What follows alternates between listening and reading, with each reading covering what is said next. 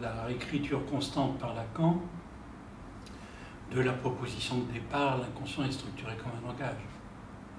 Euh, il n'a pas cessé de la décliner de façon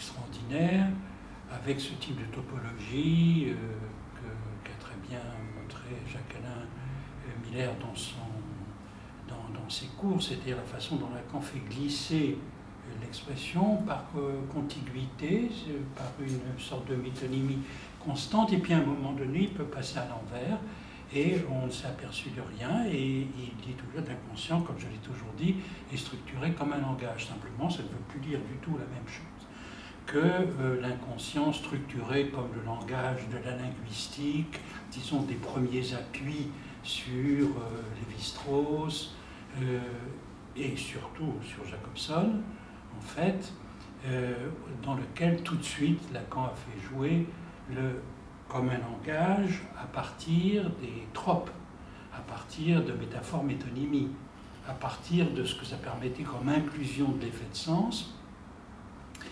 euh, et non pas simplement du binaire signifiant-signifié, mais se libérer de cela pour au contraire faire jouer au maximum cette inclusion de l'effet de sens qui d'abord était, qui s'est trouvé transformé en jouissance et qui permettait cette, euh, cette inscription, euh, disons d'abord de la jouissance comme une lettre.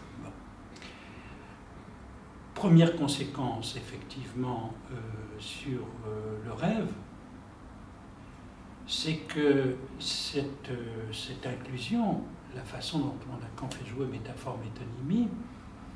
Et euh, dans les commentaires, on voit tout de suite du, commentaire de l'injection faite à Irma, dès le départ. C'est plus du tout le, euh, disons, le binaire texte euh, apparent du rêve et interprétation inconsciente, interprétation du texte qui vient faire une sorte de métalangage sur le rêve. Ce que Lacan, dans l'injection faite à Irma, euh, déploie, c'est une structure du rêve où euh, le, désir qui porte le rêve, d'une certaine façon, est conscient. Quand Freud rêve, il rêve, en effet, il dit très vite. Il veut déculpabiliser euh, Fliss. Ça, c'est son intention consciente. Et le rêve est un rêve, en effet, de, où il se libère de sa culpabilité. Mais profondément, Lacan restitue qu'au-delà de libérer Fliss, disculper Fliss, et bien entendu disculper lui, Freud, d'avoir brisé euh, le tabou euh, du secret et d'avoir en effet trouvé que le rêve, le rêve euh, est un rêve où finalement surgit euh, une formule, la triméthylamine, cette formule qui donne la clé de tout. Et la dit c'est délirant. La dit ça pourrait parfaitement être délirant. Mais ça n'est pas délirant parce que Freud s'adresse à nous. Freud s'adresse à nous et nous dit qu'il a voulu se libérer de la culpabilité d'avoir levé le voile sur ce que parler veut dire et ce que sur le rêve veut dire. Et qu'en effet, euh, l'inconscient est structuré comme un langage, avec un dernier mot. Euh, il dit si Freud s'était resté tout seul dans un coin où avait commencé un enseignement ésotérique là-dessus, révéler sa dinguerie.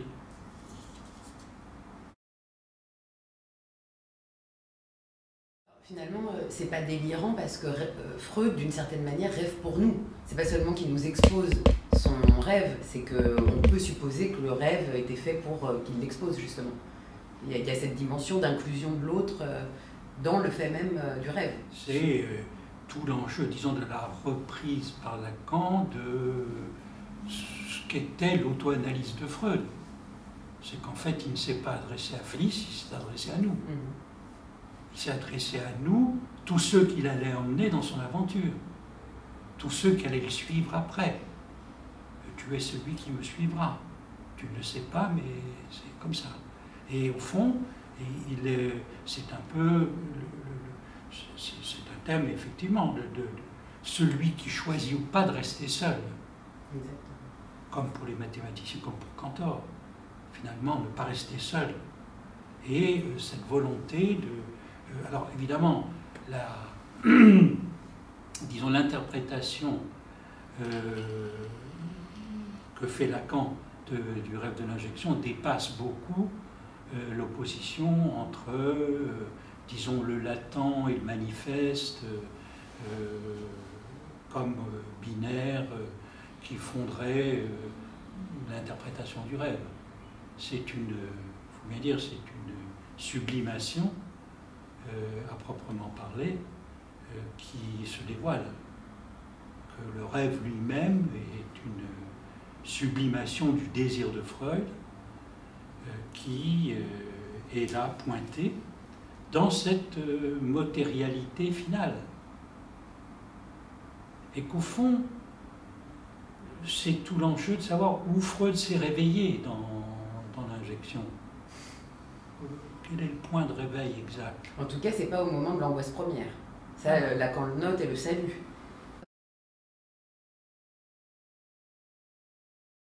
Y a-t-il encore une spécificité du rêve au-delà du fait qu'on le rapporte avec des mots? Dans la cure Oui, euh, je pense que oui, euh, qu'il y a une spécificité du rêve. Mais euh, cette spécificité du rêve, si on prend à partir du dernier, pour coup, du dernier Lacan, par comme ça avoir les deux bouts, c'est il se tient, c'est pour ça que j'avais appelé la, petite euh, euh, contribution à la, soirée de l'AMP en janvier l'esp d'un rêve, euh, c'est que c'est le même type de problématique que l'esp du laps, c'est-à-dire le moment où on est dans le rêve, au moment où on est dans le lapsus, là, on est dans l'inconscient, on, on le sait, et dès qu'on se retourne et qu'on veut lui donner, qu'on essaye de l'attraper, cette euh, formation, qu'on essaye de lui donner un sens, qu'on y prête attention, là, on sort de l'inconscient. D'où l'idée que, en effet, saisir les formations de l'inconscient dans leur ensemble, lapsus, rêve, mot d'esprit, etc., les saisir proches de l'esp, disons, c'est-à-dire le moment où elles se produisent dans leur équivoque, le moment où il n'y a à ce moment-là plus personne, c'est la place euh, de personne, c'est là où la pratique, en effet, euh, finale de Lacan, c'est là le point qu'il a visé, euh, disons, affirmer toujours plus la place de personne. Le moment où le sujet n'est pas encore, euh, ne peut pas, disons, essayer de s'endormir de signification. Il vient d'un lieu où apparemment le locuteur s'est absenté pour rêver. C'est toute la question aussi que là encore, faut-il que celui qui rapporte un rêve ait que pour lui, la frontière veille-sommeil compte. Il y a en effet des sujets qui vivent leur vie dans un rêve, dans un délire, et pour lequel la, la frontière veille-sommeil n'est mais est-ce que c'est pas le, le, statut même du sujet quand on sait que, que finalement on ne se réveille jamais que pour euh, continuer à dormir? Oui, il y a toutes sortes de formulations. On ne se réveille jamais que euh, pour continuer à dormir. On ne se réveille jamais, mais parce que le réveil absolu, c'est la mort. Euh, on se réveille, mais on se réveille quand même quand il y a le forçage du principe du plaisir. Et on se réveille quand même, mais on... etc. Déclinaison. Oui, euh, on ne peut pas dire que si la, thèse, ce sont à la fois des formulations toutes prenant, disons, le solide de cette vérité se prend sur une facette à chaque fois. Mais il y a un grand solide qui est quand même que ce que Lacan appelle réveil, c'est le forçage du principe de plaisir. Euh, que ce qui la, la, pratique euh, de l'analyse euh, comme forçage du principe de plaisir ou de, disons, de la jouissance de la parole libérée comme, disons, parole en roue libre, qui peut effectivement se rentrer dans le possible, toujours possible d'ajouter un autre signifiant une signification, etc. Toujours euh, renouvelé comme la mer, euh, on peut cette euh, d'accord, mais à un moment donné, donc, chacun disait, la pratique du dernier Lacan, c'est introduire de l'impossible. Introduire de l'impossible, c'est ce qui aussi est l'horizon du réveil. Réveil de, cette, de ces significations possibles, centrage sur le point de jouissance euh, auquel le sujet est accroché, euh, viser ça par cette matérialité. Ça, pour le coup, est-ce le rêve de Lacan d'arriver en effet dans cette pratique-là, essayer en, en, donnant tout son poids à cette matérialité hors sens, viser et toucher, faire mouche sur euh, la jouissance du sujet. Mais du coup, euh, ça oppose euh, la perspective du, rêve comme ici tu es chez toi à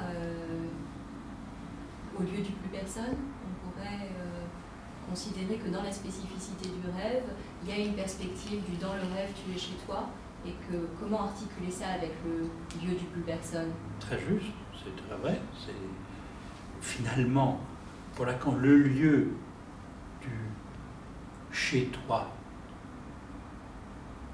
il n'y a plus de chez toi. Le déloge en fait. Et c'est que le, sujet n'a plus son, son Heim euh, euh, assuré, ni son Heimlich euh, tranquille, qui ramenait du côté principe du plaisir. Chez toi, c'est le principe du plaisir. Et par contre, le moment où tu es toujours délogé, hein, euh, c'est ce qui vient faire obstacle au sentiment d'être chez soi. Et euh, c'est euh, en effet le, vrai lieu de l'inconscient comme lieu hors, comme lieu du, en effet, d'un lieu où viennent se retrouver d'ailleurs analystes et analysants, et qui font que l'interprétation du psychanalyste répond à celle de l'inconscient, et s'il est à la hauteur de l'interprétation préalable de l'inconscient, mais qu'il corrige en la séparant de son aspect principe de plaisir. L'inconscient interprète, mais il interprète aussi du côté du principe de plaisir.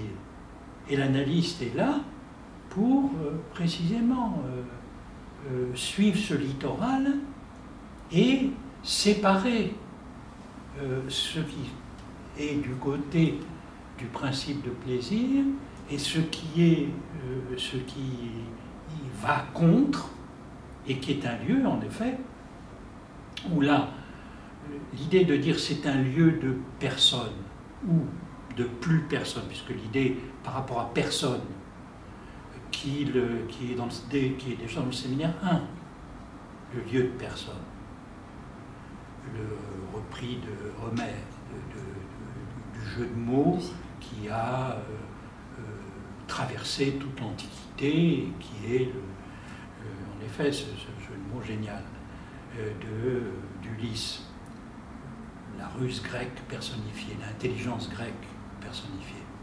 Euh, ce, quand plus personne, c'est à la fois le jeu de mots de Lacan, entre une personne en plus et euh, précisément l'abolition de la personne. Ça en rajoute, disons, sur cette abolition dialectique qui se joue. Et là, symbolise les différents lieux apparemment en présence de l'analysant et l'analyste. Qui parle? Qui parle dans l'interprétation? Réponse, plus personne. Et à ce moment-là, en effet, au moment où ça se produit, on a la production euh, pure du phénomène, euh, qui est cet inconscient en tant qu'il est à la fois sens et hors sens, et qui a lieu dans l'espace euh, de, la séance analytique de l'acte. Parfait.